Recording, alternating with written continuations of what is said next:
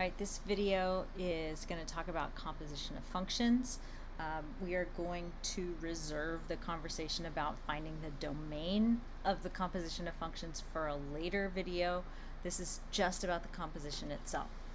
So, um, composition of functions is where you take one function, let's say f of x is equal to 2x plus 5, um, and a second function, g of x, equals, let's make it x squared. And you're going to take and plug one into the other. So, composition of functions, the notation looks like f and then an open circle, read f of g of x. Now what this means is you're going to take f and use the g of x as the input.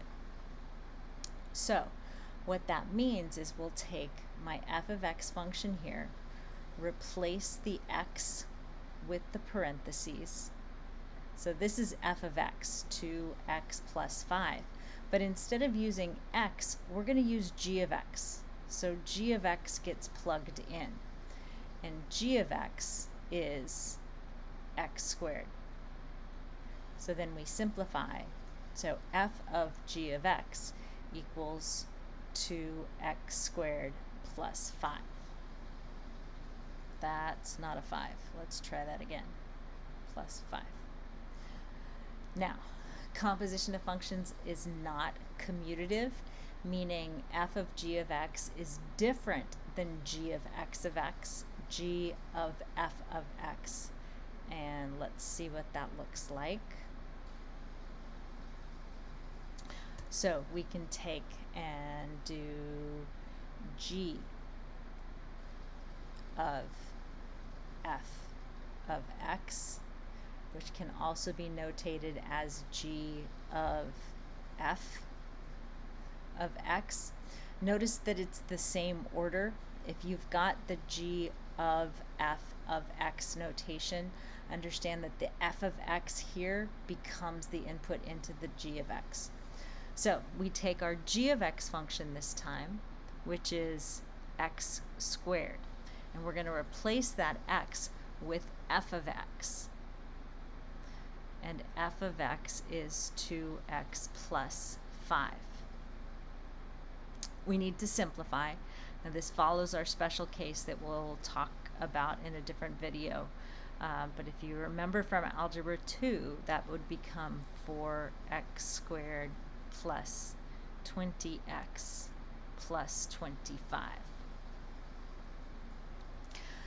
Now, um, let's just look at a different example. So, if we've got, um, let's make it r of x equals x plus 1 and s of x equals 2x squared plus 3x.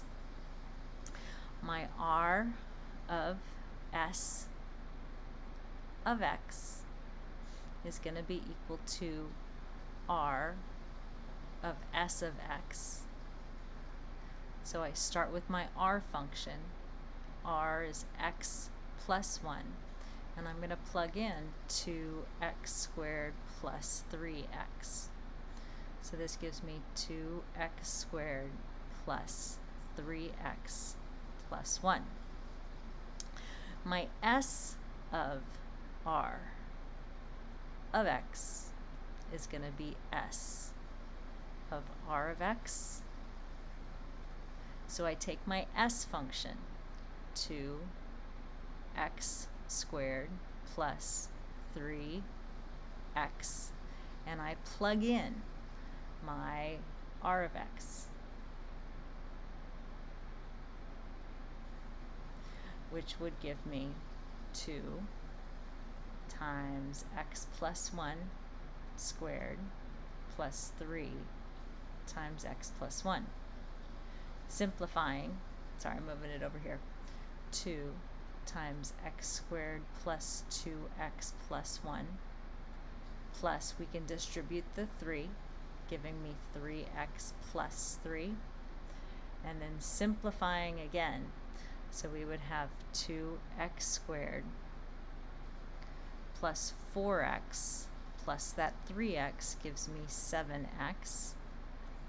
2 times 1 is 2 plus that 3 gives me 5. So that is my S of R of X. We're going to do another example. We're going to look at this one a little bit differently. So if we've got f of x equals, let's make it uh, just a couple simple linear uh, equations. f of x equals x minus 2 and g of x equals, let's just make it 2x. Now, if I wanted to find f of g of x, uh, this is what we've done the last couple examples. I'm going to take my f of x function, x minus 2, and plug in my g of x function.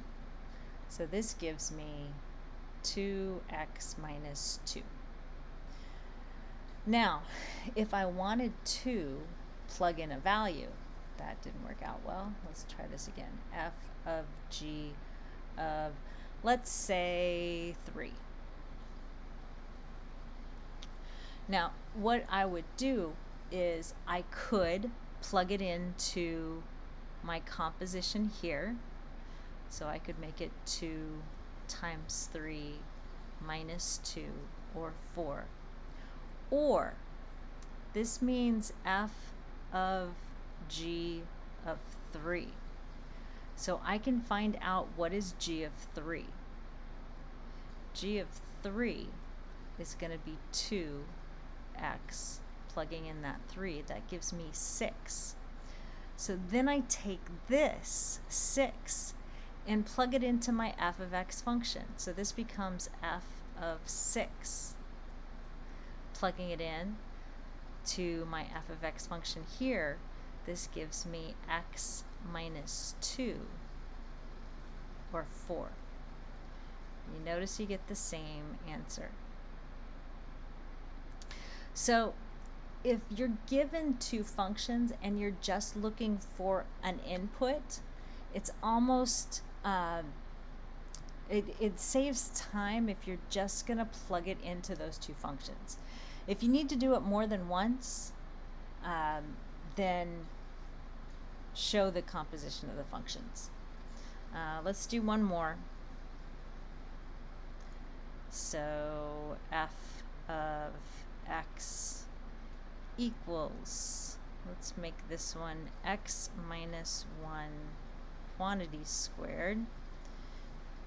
And g of x is equal to x plus 1.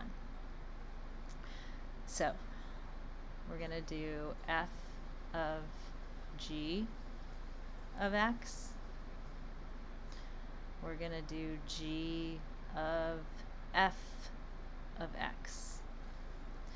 I also want to see what f of g of negative 1 is and g of f of uh, let's make it 3. So, f of g of x. Again, this means f of g of x. This notation to me seems a little bit clearer. You can see that the g of x is going to be the input into the f of x function. So I'm going to replace all of the x's with parentheses in my f of x function and plug in my g of x. Now notice here you've got x plus 1 minus 1, so the 1's go away and we're just left with the x squared. If we go the other way around, g of f of x, I'm going to take my g of x function, x plus 1, and replace it with x minus 1 squared. Now we shouldn't leave it this way, we need to simplify, so that would be x squared minus 2x plus 1 plus 1, or x squared, sorry, I'm running out of room, x squared minus 2x plus 2. So that would be your answer. Now, two ways to do f of g of negative 1. First way is to take my f of g here and plug it in. So let's do that. So x squared, plugging in a negative 1, we get positive 1. Or we can take my g of negative 1, which would make it negative 1 plus 1 or 0 and plug that into my f of x function. Now plugging it into x minus 1 squared, I get negative 1 times negative 1 or positive 1, which is what I was expecting here. I can do the same thing with um, g of f of 3. Let's go ahead and do this. So um,